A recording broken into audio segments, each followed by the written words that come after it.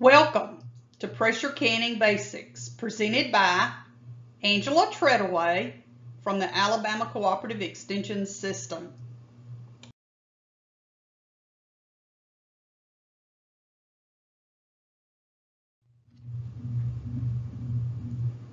Canning low acid foods at home.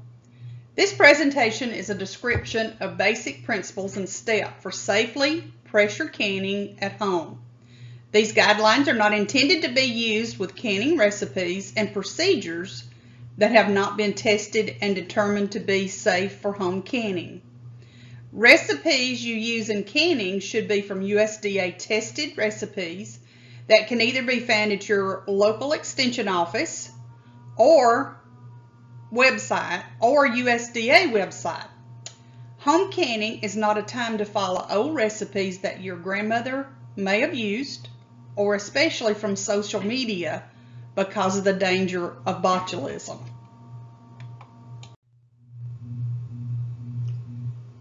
If you're watching this and thinking about getting started with home canning, here's some questions you may be asking. Why do we preserve foods at home?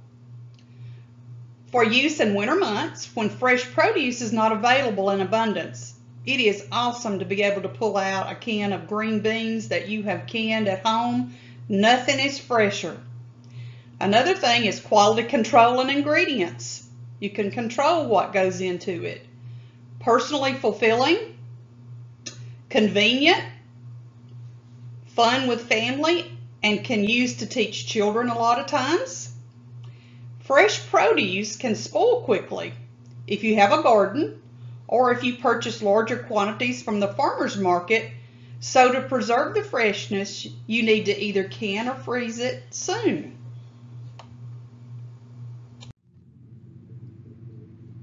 Proper canning practices include cleaning all work surfaces and utensils that you plan to use, as well as wash your hands.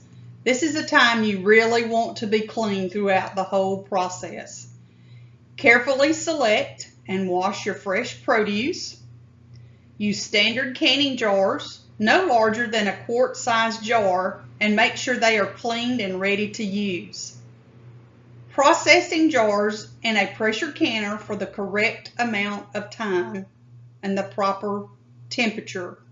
Collectively, these practices remove oxygen, destroy enzymes, prevent the growth of yeast, molds, bacteria, and help form a high vacuum in jars. Good vacuums form tight seals which keep liquid in and microorganisms out and allow for a safe product that you can store on your shelves in your pantry.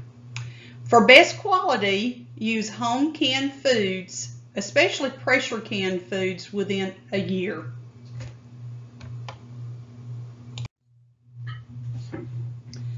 Let's discuss now why we have two methods of canning.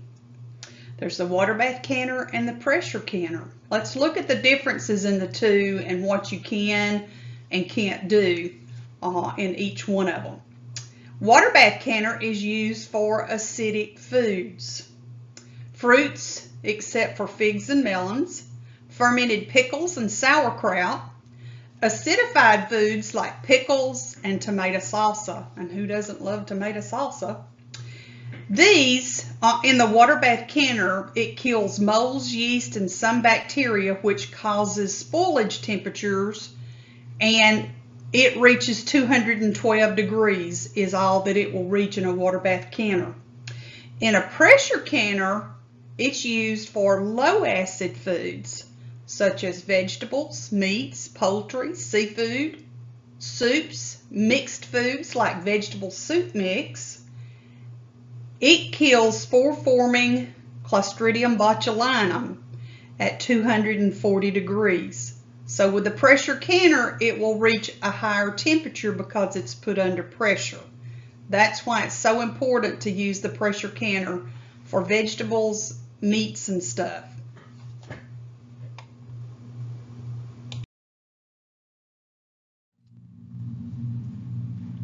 So why is pressure canning needed for low acid foods? We talked about it in the slide before, it's Clostridium botulinum. C. botulinum forms spores that require a higher temperature for a reasonable amount of time for destruction, which is usually 10 to 11 pounds, which is PSI, pounds per square inch, will reach 240 degrees in a set amount of time. Botulism, which is the toxin that C. botulinum forms, can grow when the right conditions exist, which are a moist, low acid food, which is your vegetables and uh, meats and stuff, a temperature between 41 to 135 degrees, which is room temperatures a lot of times in between those, less than 2% oxygen, which is a sealed jar. Botulism is one of the deadliest known toxins. Just a small taste can be very deadly. Okay, so let's look at preventing botulism in home canned low acid foods. Uh, spores are killed when heated long enough at a specific temperature. That's what you're going to do in the pressure canner. Pressure canner must be used for all low acid foods. Uh, there's no exception when you've got soups and mixed vegetables and stuff or tomatoes and mixed vegetables. They still need to be done in the pressure canner even though there is some acid there. Food must be prepared, placed in your jar, and processed for a certain amount of time. Your pressure canner gauge needs to be accurate. And canner gauges can be checked for accuracy at your local County Extension Office yearly. And there's no charge for that if you'll just call one of the food safety agents uh, or your local county extension office and set up a time to have that done. And then follow USDA recipe exactly um, to get the best results. The two types of pressure canners are dial gauge or weighted gauge. All of them should have a flat rack in the bottom, vent pipe for pressurizing, safety valves or overpressure plugs, flexible gaskets in the lid or a gasket sometimes it's called a sealing ring uh, but it needs to be flexible and in good shape. You need to use 10 psi, that's pounds per square inch, for weighted gauge, and then 11 psi for dial gauge.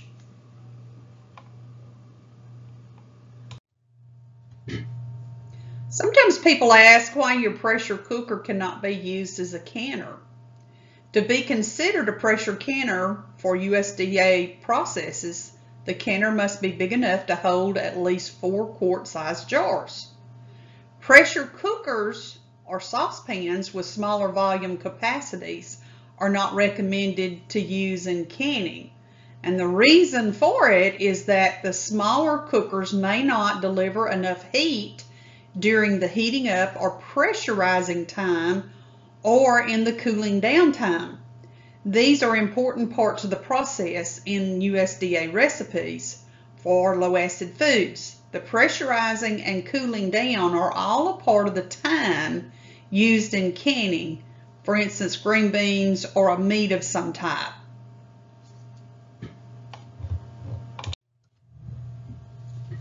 Using your canner for the first time, here are some of the things that you want to keep in mind. Number one is read your instruction manual that came with your pressure canner. Clean your canner with soap and water. Check your gasket to make sure it's secure in the lid in good shape. Place your rack in the bottom of the canner. Pour about two to three quarts of water in and set on cooktop and turn on medium heat until the jars of food are ready to place in the canner just to kind of let it simmer. Then you want to place filled jars in the canner where they don't touch. Next, turn on the heat, turn the heat on high and place lid on securely. Next, you will vent the canner once steam begins to come out of the vent port. A warning, if you have a glass cooktop, You want to follow your manufacturer's manual with your cooktop. Most of the time they'll say not to use a pressure canner on glass cooktops. So check that first. Venting your canner is a very, very important step. A lot of times people will leave this out. It's also called exhausting the canner. As the water boils in the canner, the empty space becomes a mix of steam and air. It's very important to do it for 10 minutes once you see it start to escape. Exhausting eliminates the air so processing takes place in pure steam environment. Process times are intended for pure steam. USDA instructs that all pressure canners are to be exhausted for the proper processing to happen.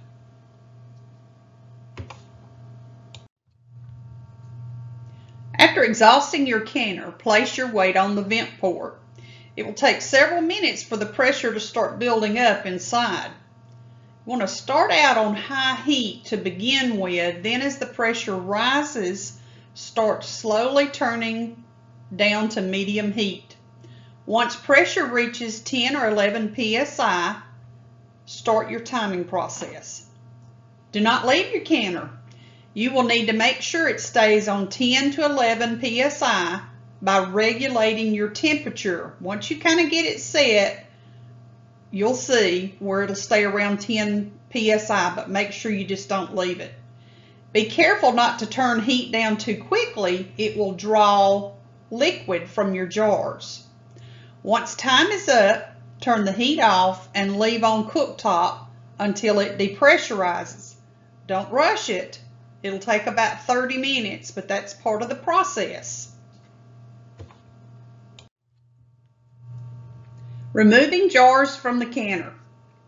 Once your canner has completely depressurized, you can carefully take the lid off, making sure to turn it away from your face to prevent steam burns. Let the jars sit for a minute and have a place prepared on the counter to place the jars like a towel or a rack or something that so they don't sit directly on a cold surface. Take all the jars out and let sit for at least 12 hours and check seals to make sure they are concave and not sticking up. If it pops when you mash it, that means it's not sealed. If jars are not sealed, reprocess within 24 hours or place in the refrigerator and consume within seven days. Clean and label your jars and use within one year for best quality. Here are just a few of the methods and equipment not recommended for pressure canning. Is your pressure cookers, as we already talked about, open kettle method, oven canning, microwave oven, dishwasher canning, steam canners, and one of the new things today is the Instapot or quick cooker.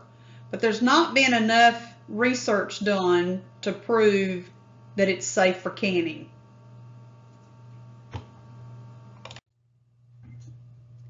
You know, pressure canning is not something everyone wants to do, but it can be very rewarding, especially in the winter months when you want the fresh taste of green beans or some really good home canned vegetable soup. There's just nothing to compare to fresh made at home. It can also be a lot of fun to do with family and friends. For more information, look for more videos and PowerPoints from the Alabama Cooperative Extension System on home food preservation. Thank you and happy canning!